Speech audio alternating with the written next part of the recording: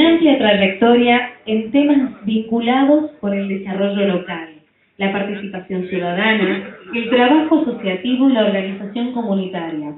Posee reconocimientos tanto en América como en Europa, oriundo de nuestra provincia, donde se ha desempeñado en ámbitos académicos y sociales, dejando su impronta en profesionales y hacedores de los ámbitos, ámbitos educativos, económicos, sociales y culturales.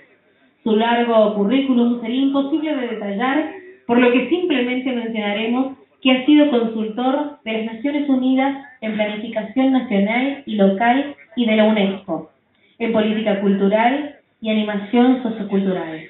Ha publicado artículos sobre trabajo social, realizando aportes teóricos y de práctica de esa ciencia. Damos un afectuoso aplauso al doctor Ezequiel Anderes.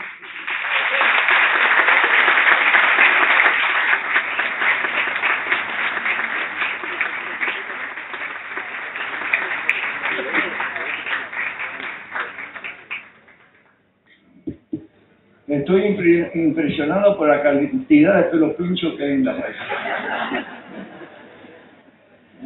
Eh, tengo que hablar de la juventud, pero compañero formal me, me, ha producido, me ha provocado ahora para que haga una pequeña reflexión con lo que escuché hace un momento. Después cuando hable con los profesionales me voy a, lo voy a desarrollar más profundamente. Estoy llegando de Europa, de ese Europa que está un despiporre total, y él dijo algunas palabras que son muy importantes que adhiero 100%. Cuando la economía esté en manos del pueblo.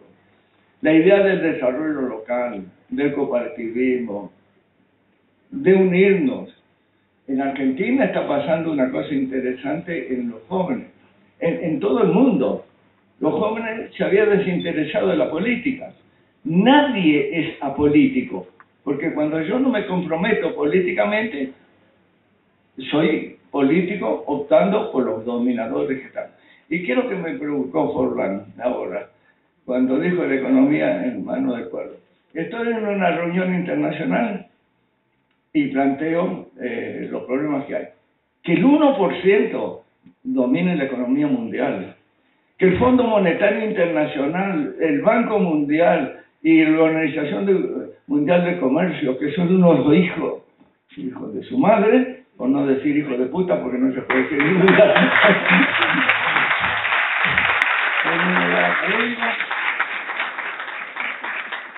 No, es impresionante.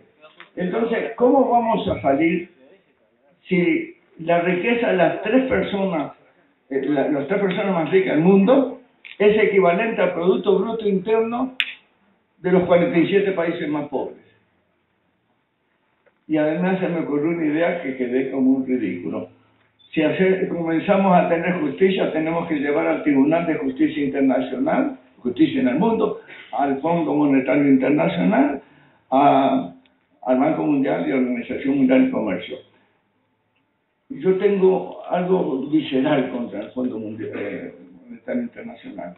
Cuando en los años de la crisis argentina, momento grave, creo que 2001, eh, 7 millones de niños argentinos sufriendo hambre y estos hijos de la...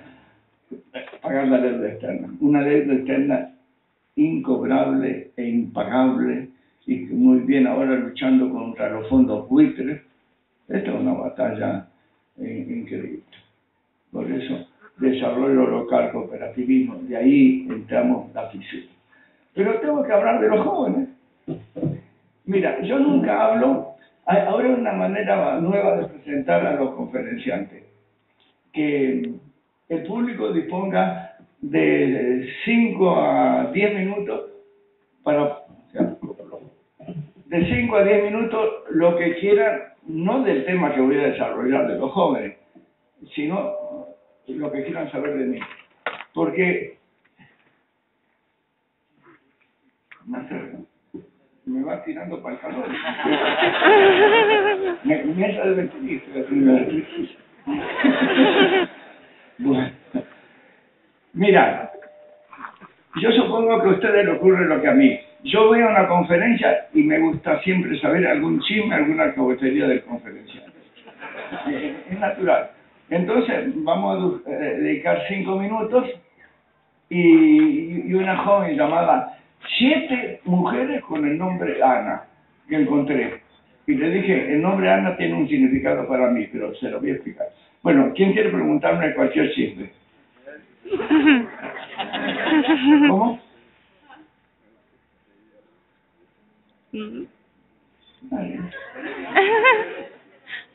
¿Cómo? Es soltero. Eh, mira. Eh, eh, no, no. Mira, tengo 83 años. Estoy solo. Busco novia y no consigo. Pero.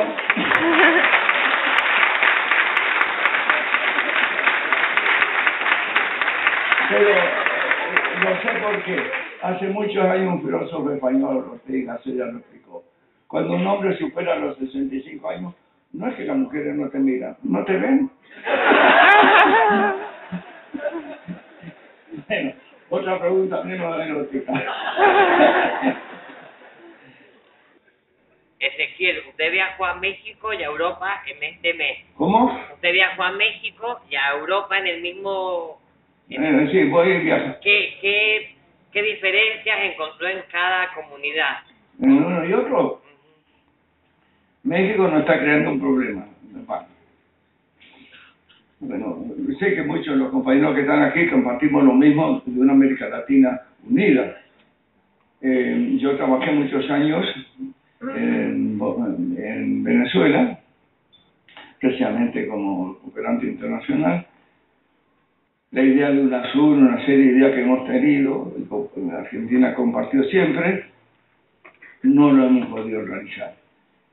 Tenemos Mercosur, pero acaba de aprobarse el pacto de los países del Pacífico, que está Chile, que es de derecha, bueno, Piñera, espero que Bachelet cambie.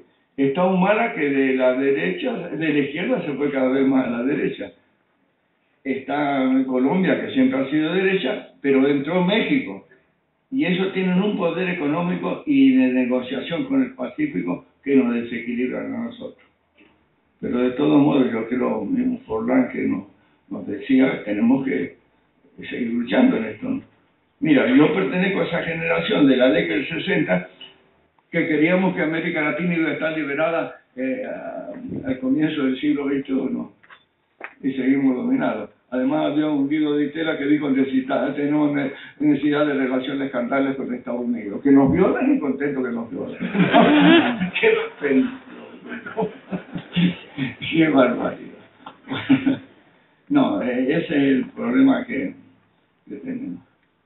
Eh, bueno, México, tengo muchas relaciones, tengo 2.330 hijados y hijadas en México y mucha relación con el mundo indígena, porque muchos de ustedes saben mi relación con los indígenas. El otro día en la ciudad de Córdoba, en un teatro, cosa increíble que ocurre ahora. Había dos mil personas, yo planteé que eh, eh, la campaña del desierto fue un genocidio, que los nombres de Roca y todos estos criminales eh, y el presidente de la Sociedad Científica Argentina me interrumpe cuando yo termino, frente a 2.500 personas, dice, este Andrés es un ignorante.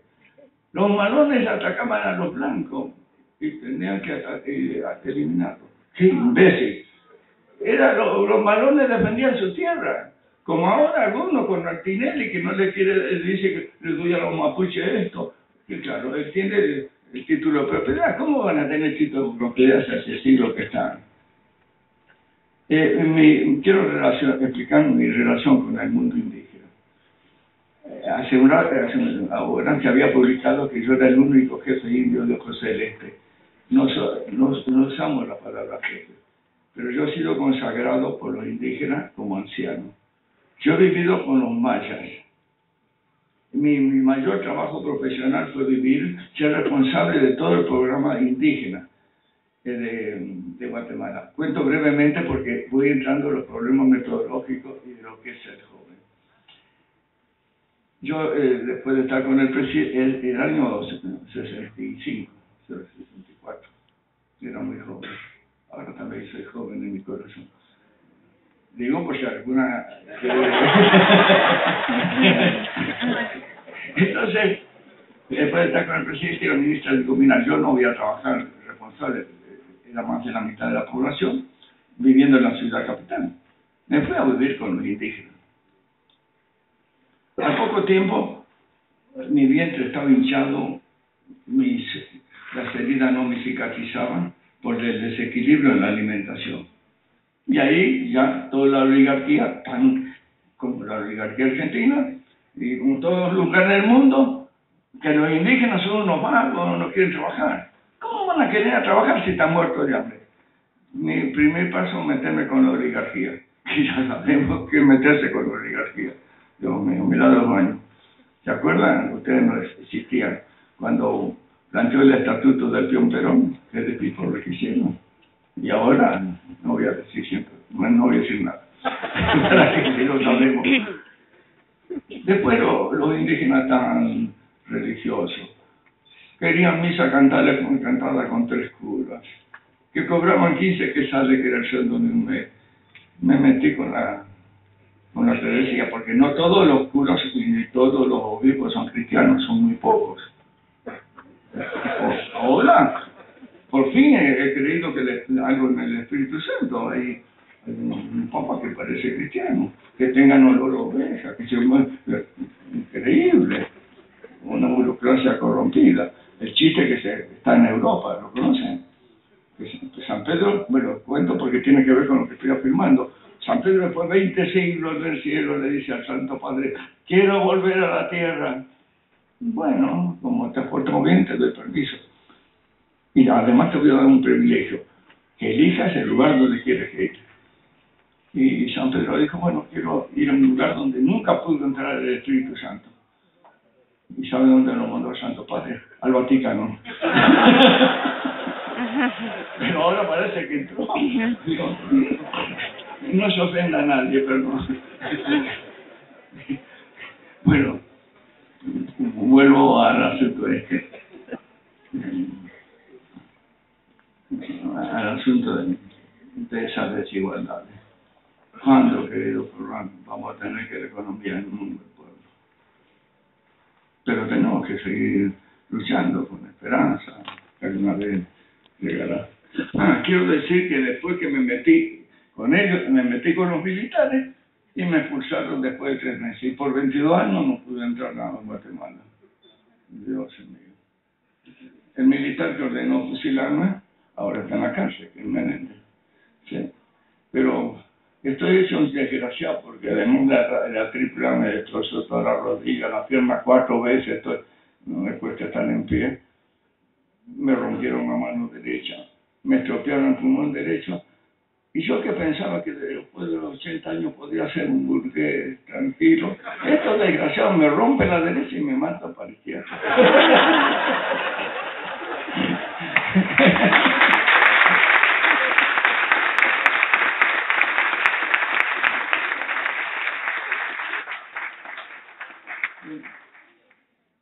No, no, sentarse para los viejos. No, para colmo voy una misión de paz que entra la guerra, iba a entrar en guerra a India y Pakistán y me en el pulmón derecho. Yo tengo todo pero mi corazón está alegre y ahora voy a responder a la pregunta de Ana, siete Ana, que me preguntó, y yo dije tiene un número, un nombre, eh, tiene un significado especial. Ana es el nombre de una mujer de que yo estoy enamorado de siempre, pero murió 15 años antes que yo naciese. Ana, Ana Miller es mi abuela. Ana Miller, eh, lo mismo mi abuelo, que era cierta posición científica, tenía una buena formación científica y era partera en Entre Ríos. El 28 de febrero de 1915, un campesino pobrísimo la fue a buscar en su carromato ah, para de luz. Y mientras iba en el carromato, una araña muy grande la picó. Mi abuela, que, tenía una formación científica dice, puedo volver, porque ahí estaba el sanatorio Puigale, que ahora calle Libertador, el sanatorio Adventista, que ya en el siglo, eh, comienzo del siglo XX y antes era muy famoso, y ella prefirió ir a dar la vida. Volvió y murió. ¿Y por qué Ana tiene tanto significado? Porque es el ejemplo de mi vida. Dar la vida por los otros. Eso es lo que vale.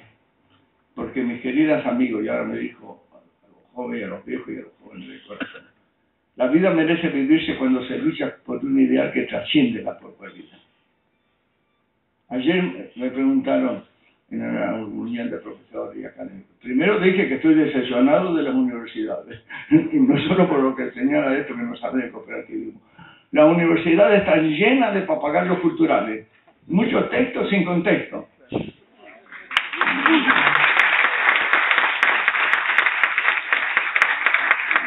A mí la Universidad de Cuyo me expulsó por ser socialista, por ser hombre de izquierda. Nunca más volví. ¿Para qué voy a volver? ¿Para qué?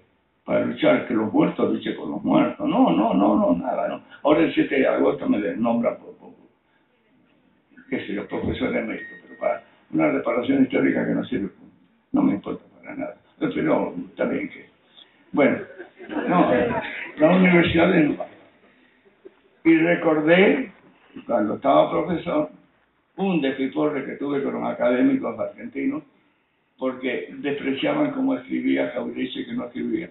Yo, a Jaureche lo rega el pueblo, ustedes ni la madre que los parió lo lee. no, no. Tienen un lenguaje que no interesa a nadie. ¿eh? Plantean cosas que no abstractas. Además, mira, yo por contra mi voluntad y por trabajar en el plan internacional, vivía Europa, América Latina, cuando en Europa no discuten un autor, por ejemplo, Pulanza nadie le daba bola, se tiró del séptimo piso. Althusser le dobló la cabeza a la mujer y. Y aquí los académicos discutiendo Pulanza, Althusser. Mira, eh, en cambio de pensar América Latina desde América Latina, pensar América Latina desde los textos europeos. No voy a hablar de Lacan, que un, un cabroncete y todas las cosas que hay, algo espantoso algo espantoso. Bueno, esto vale la pena. Y ayer, ayer me preguntaron, ¿qué significa Mendoza? Yo viví en Mendoza, aquí me quedé. Me preguntaron cuando la Triple G mandó el diario Los Andes, que hoy el diario Clarín, versión Los Andes, o no. Sí, ¿para qué? Oro, sí, sí. Pobrecito de Clarín tampoco. Bueno, eh, y me dijeron, me mandaron decir, vamos a ligar, vamos a matar a Negro Plingles, que era eh, ligado a todo este grupo sindicalista eh, que queremos el cambio, yo trabajaba con ellos, y, Andrés que era el rebelde. Y yo, claro, ustedes saben, eh, Menéndez hizo público porque era montonero. Yo no era montonero, hablaba con los montoneros y con todo. Sabía que su estrategia era equivocada. Cuando decían somos la vanguardia decía el peronismo, dijo, no, no, eso no es. Eh, eh, usé una frase de Balbín para explicarlo yo me pongo en un, creo un microclima y creo que esto es la realidad. Hay que escuchar al pueblo, no, no el microclima de la reflexión política. Entonces, eh, ¿qué es su mayor significado? Me preguntaron una noche los académicos que tuvo Mendoza en su vida. No, yo no me quise ir por fidelidad a los jóvenes. Porque en la nota de Menéndez se dice, miles de jóvenes se hicieron socialista por este subversivo.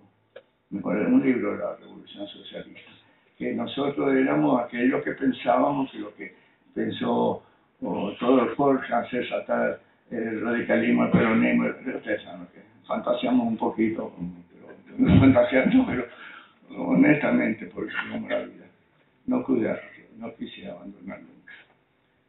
Si ustedes me van a permitir que les pida una cosa, Solo un, minuto enseguida.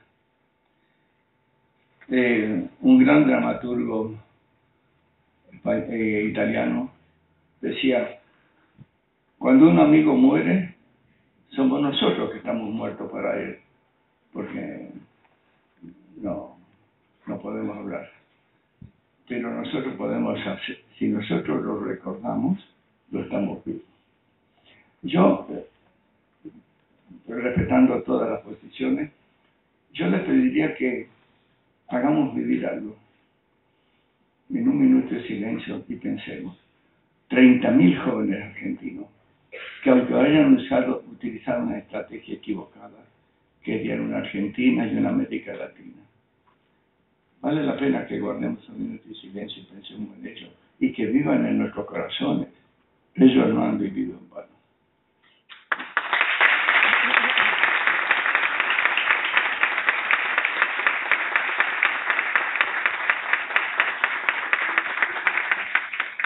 Y entonces ayer me dijeron, ¿qué es lo que te ocurrió en Mendoza más importante? Y le conté.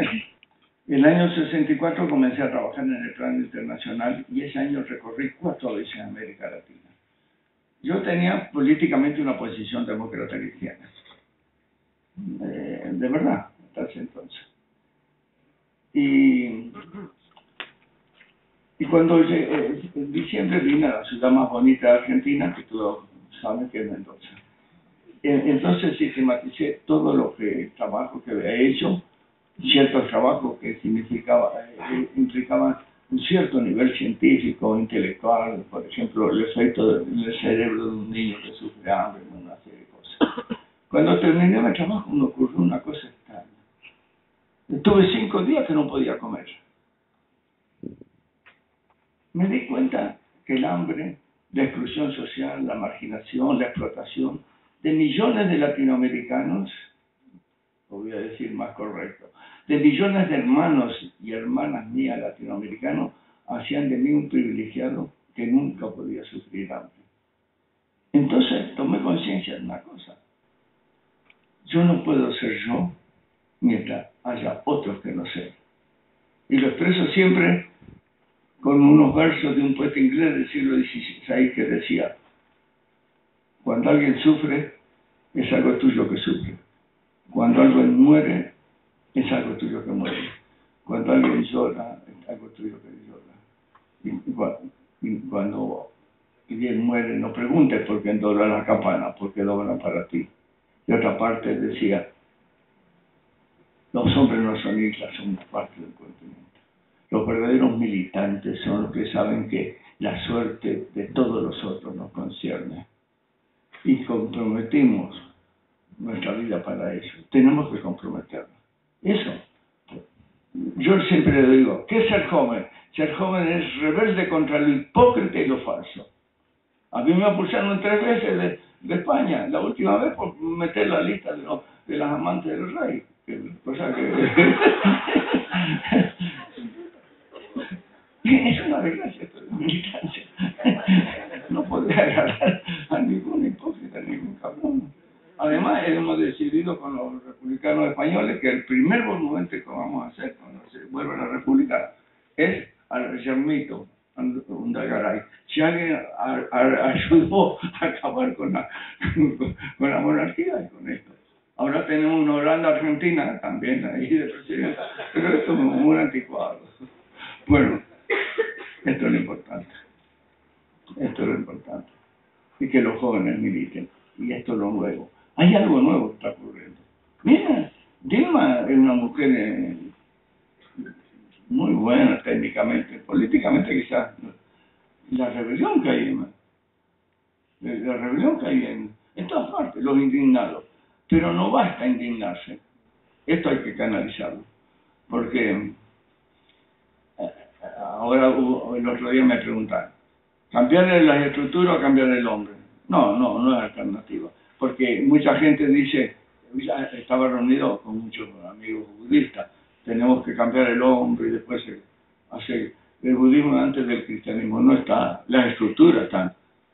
Tiene que, tenemos que ser un hombre nuevo, una mujer nueva.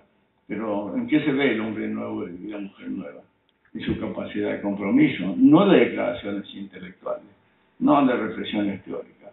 Eso es lo que tenemos que hacer. Pero la estructura está.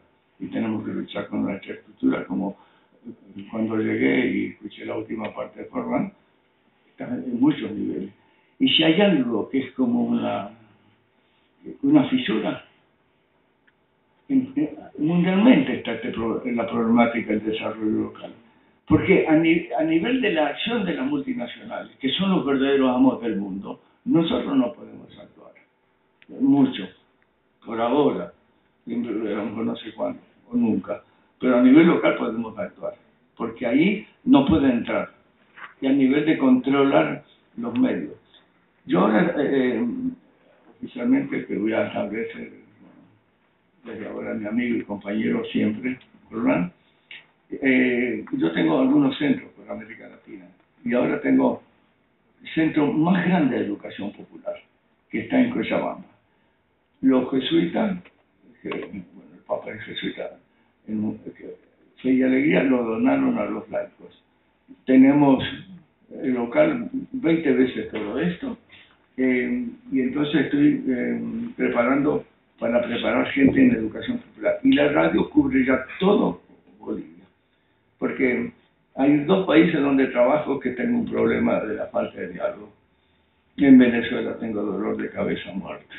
La Universidad Central, huelga permanente, la Universidad Central nunca fue chavista ni nada. Y, Bolivia. Bolivia, el problema de los blancos, Cochabamba y, Santa Cruz están en lugar de los blancos. Los blancos son los culpables, siempre despreciaron a los indígenas. Y los indígenas tienen un fastidio. Entonces, eh, este es un problema. Pero sí quiero después hablar con, eh, con los amigos porque vamos a hacer un centro de entrenamiento. Y el otro centro de entrenamiento lo tengo al norte de, de, México, en Chihuahua. Chihuahua es la capital del estado de Chihuahua, pero está la ciudad más violenta del mundo que es Ciudad Juárez. Y la última vez que estuve no anduve tres pasos en dos guardaespaldas delante atrás. No que te quieran matar, que la balacera entre, entre las bandas te liquida. Y estuve bastante en Sinaloa con la jefe de la banda, era la mi Sinaloa. Estaba re buena la tía. bueno, bueno, para que explique. No, no, no solo era la mi Sinaloa, era una de las mujeres más hermosas del Pacífico. Y murió con el fusil por infeliz. Pero claro, con ese físico podía tener algún poder. Bueno, ahora, ahora sí, ahora comenzamos con otras preguntas. Bueno, entonces la otra pregunta que me hicieron, eh, en privado me lo dicen y ahora cuando están en público tienen miedo.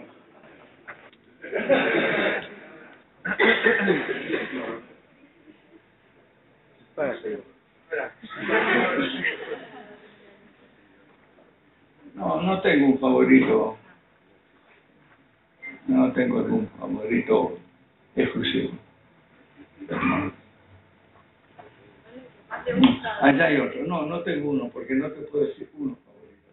Sería... Eh, no, prestaría... Ayer allá traje a hablar. A grito pelado, vamos. Si son los actuales, las venas abiertas de América Latina de Galeano o las poesías de, de, Benedetti. Eh, hay muchos muchos eh, autores. Quizás el, el principal autor que la idea de pensar América Latina desde América Latina eh, surge con Ariel, pero eso era un, autor, eh, el, este, eh, elitista de la aristocracia, pero piensa con Calabrino Ortiz y todo ese grupo que combina con, Fabrece, Forga, todo eso, es lo primero que comienzan a pensar eh, América Latina desde América Latina. Tuvimos después la reunión en Venezuela también, de pensar América Latina desde América Latina han surgido muchas figuras eh, para pensarlo en diferentes campos. En diferentes campos. Por ejemplo, de la pedagogía podemos ver a Freire y otros. Pero en el campo de las ciencias sociales es peor. Porque ¿a dónde iban a perfeccionarse nuestros economistas? A Chicago.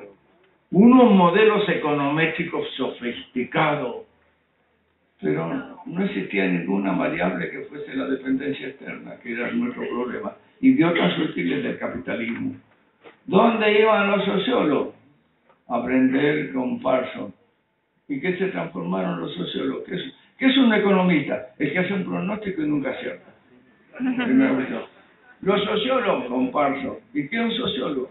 El que dice con palabras ininteligibles lo que todo el mundo sabe por sentido común. Bueno, entonces, todo eso vivimos en una especie de masturbación mental e intelectual cuando no pensamos a partir de los problemas reales y de los problemas que, No, no, no es este. Recién me pregunta, hace un rato me dicen, tú estarás contento que tienes el título universitario y de doctor. Yo no sirve, no voy a decir la palabra que usé en público, no sirve para nada los títulos.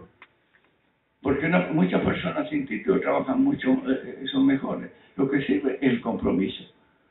Sin sentimiento no hay emoción. Sin emoción no hay pasión. Y sin pasión no hay compromiso. Y el compromiso es jugarse. Querer que la utopía del cambio posible. Mucha gente ha escrito el final de la utopía. Yo, cuando me lo dijeron, ellos dicen, mira, si la utopía, si yo me convenzo que la utopía ha muerto, me suicido. Una vida idiota. ¿Para qué? La militancia es una vida idiota, si uno no cree que cambia. Si aceptamos que la utopía ha muerto, tenemos que aceptar que la raza humana está maldita para siempre, porque somos incapaces de comprometerlo para construir una sociedad más fraternal. Y esto es lo importante. Esto es lo importante. Pero yo creo que hablé mucho. Mira, les voy a dar una clase práctica y nos vamos. Sí, porque si no están cansados. ¿Cuál va a ser el país más poderoso del mundo dentro de, pocos años? China. ¿No es así? Ya son unos cabrones, peores que los capitalistas. Explotan de aquí, nos mandan lámpara de bajo consumo que dura dos días, nos mandan... no, no. Yo he escrito sobre China hace recibo una vez por semana la información. La nieta de Mao Zedong, multimillonaria. Ay, pobre. La revolución cultural. A veces cuando lo del Partido Comunista pro-chico, que Argentina me decía, ¿cómo va a ser pro-chico? Qué despistado, ¿cómo puede ser que una juventud se En Argentina que con argentino. Digo, los pro-chinos son cuatro, la banda de los cuatro, y los cuatro están presos. Porque después el presidente chino, no me importa que, que el gato sea gris o blanco, el asunto que case ratones. ¿Qué es la revolución cultural? Aquí hemos idiotizado. Mira, yo era muy joven, después de la primera elección de Perón. Entonces, no se vaya a ofender nadie por lo que decía. Es lo que voy a decir, no. Muchos compañeros comunistas del mundo dieron su vida. Yo digo, yo para acertar en política tengo que ver dos cosas lo que dice el Partido Comunista sucursal de la Unión Soviética y lo que dice el episcopado. Y hago lo contrario. Y, ¿No se acuerda hablar de ¿Quién hablaba por Vladimir? Bueno, eh, bueno. ¿Qué hacen en China ahora cuando hay eh, algo con una charla tan larga como esta? Primero, eh, voy a adelantar algo de mi pensamiento pedagógico. Bueno, no, otra cosa que me han preguntado. Yo aplico mi conocimiento científico en, en cinco campos. Política social, educación, animación, problemas contemporáneos y eh, método científico, que son las cosas que aprendo. Y hasta ahora tengo 171 libros científicos publicados y siempre trabajo en eso y estudio ahora muchas cosas del problema internacional. Mi mayor aporte a la pedagogía contemporánea, ¿saben cuál es? La teoría de la doble C. Mira, hay clases larguísimas. Profesores que son bustos parlantes, queridos jóvenes, necesitamos tener entusiasmo para trabajar. Y hablan así, nada, eh, mediocre, que no... Bueno, no. Mi teoría más importante es la teoría de la doble C. Después de una hora no funciona el cerebro ni donde está sentado. No me digas. Entonces...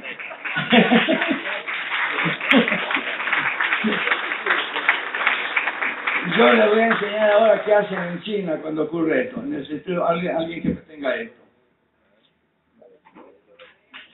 No, Forlán, no. No, pero Forlán, vení, vení, compañero.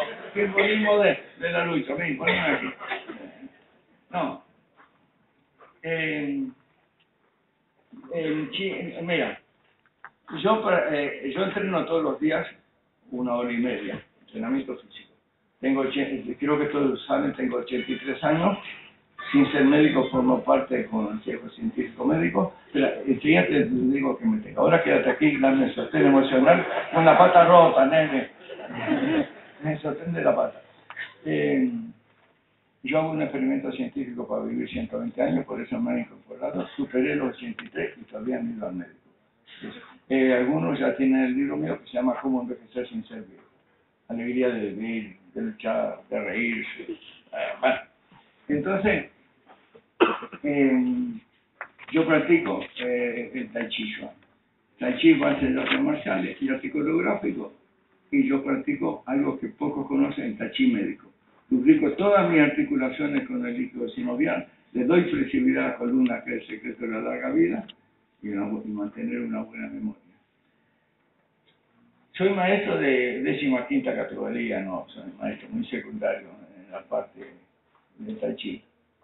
Pero eh, cuando hay una clase, una charla larga, entonces, ahora sí, en Chi se imitan 48 animales, pero vamos a, a, imitar y verán como, primero lo hago yo, después lo hacen ustedes.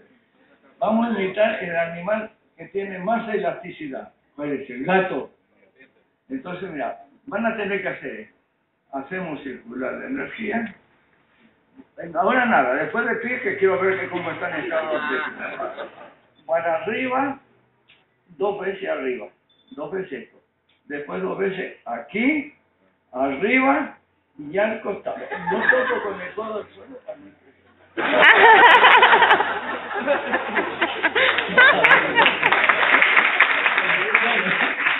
Ahora, Solano, tú, no, tú vas a ser modelo. Pero si no te mueves bien, bueno, arriba todos, vamos a despertar, vamos. No tú que tienes un cuerpo flexible, vamos aquí. Vamos, vamos, arriba todos. Ah, no, no, no.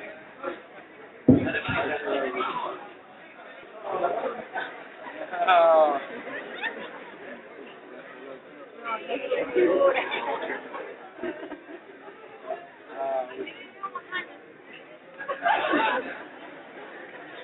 Bueno, para terminar, siéntense.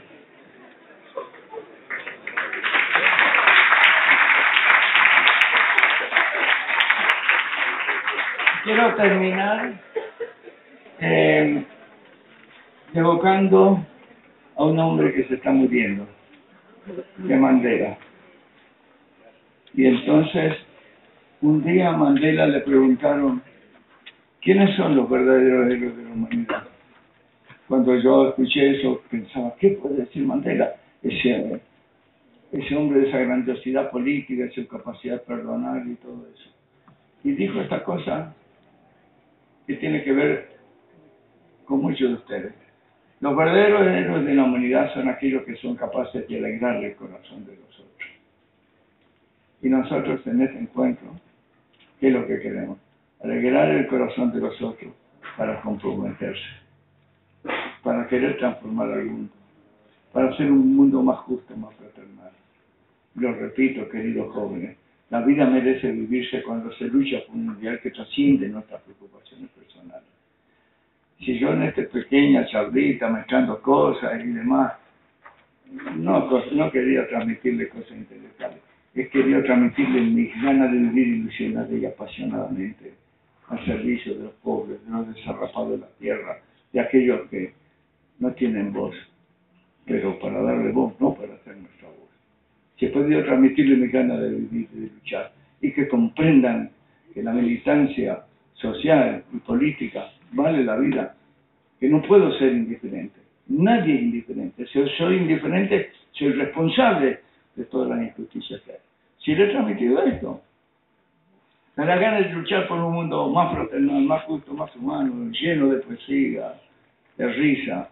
La risa y la sonrisa eh, alegra. La risa nace del espíritu y se fortalece en el corazón, florece en los labios. Nadie es tan pobre que no puede regalar una sonrisa. Nadie es tan rico que no lo necesita. No vamos a reír para luchar por la revolución.